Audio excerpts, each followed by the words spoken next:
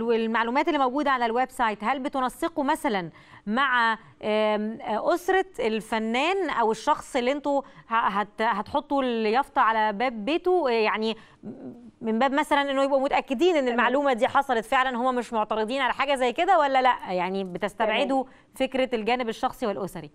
تمام. لا هو في لجنة فنية مكونة من خبراء في كافة المجالات اللي قلت لحضرتك عليها. م. منهم مثلا سيادة الوزير السابق دكتور عماد أبو غازي دكتور طارق والي المعماري السفير يسري القويدي الأستاذ جمال الشاعر دكتور محمد الكحلاوي الأثري دكتور محمد عفيفي كان معانا كمان دكتور ياسر منجي كان معانا كمان دلوقتي معانا الأستاذ طارق الشناوي كان معانا الأستاذ علي ابو شادي رحمة الله عليه قبل ما يتوفى الناقد السينمائي.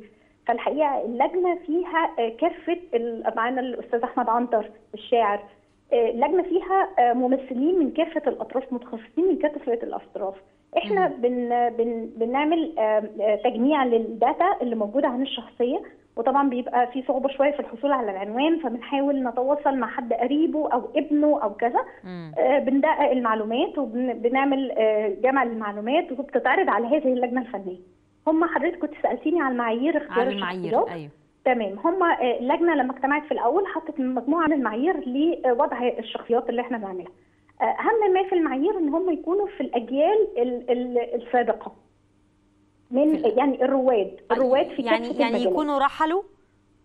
هو طبعا لازم يكونوا رحلوا لأن هي اللوحة عليها تاريخ الميلاد وتاريخ الوفاة. م. والعنوان وعليها كود ال QR اللي كنت بقول لحضرتك عليه بنعمل عليه scan فبندخل على صفحة كاملة على موقع إلكتروني لهذا المبدع مم. فيها بقى جزء كبير من سيرته الذاتيه والمشروع اسمه عاش هنا في الماضي يعني عاش كمان هنا. ف... تمام. تمام. تمام. أيوه. وفي بقى بقية المعلومات لأن اللوحة لا تسع فهو بقى على على الموقع الإلكتروني بقية المعلومات الموجودة كويس. وبيبقى فيه بقى لوجو الجهاز ولوجو طبعا مركز آه. حضرتك قلتي إنه لازم والمحافظة أيوه عشان نرجع تاني لنقطة المعايير حضرتك قلتي إنه يكون من ال... من من من, من جيل الرواد. سابق آه من الرواد الحاجة الثانية إن هو نتأكد تماما إن هو كان عايش في المكان ده إن هو مش مكتبه مثلا في بعض الناس مثلا لقينا ده مكتبه مش بيته كذا أو بيت بنته أو كذا لأ هو لازم نتأكد. ثالث معيار إن هو لازم يكون هو نفس البيت. يعني ما ينفعش يكون فيلا مثلا واتهدت واتبنى مكانها بيت.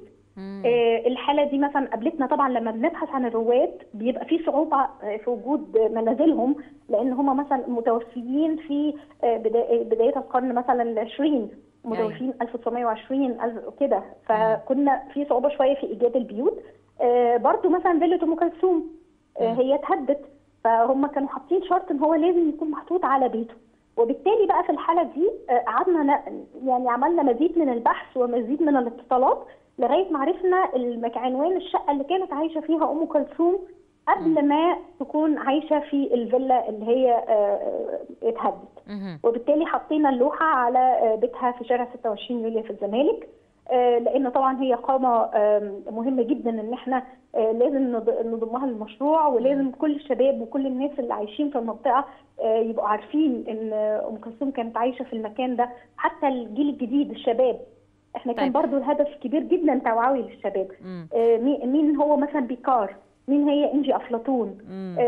حطينا برضو مؤخرا الفنان الفنان الكبير العالمي آدم حنين رحمة مم. الله عليه. حطينا الدكتور أحمد زويل مم. رحمة الله عليه. يعني في كافة المجالات الفنية والأدبية والعلوم كمان.